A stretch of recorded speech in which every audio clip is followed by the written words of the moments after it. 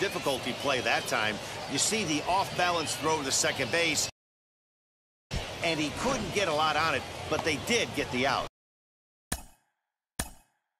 Now batting,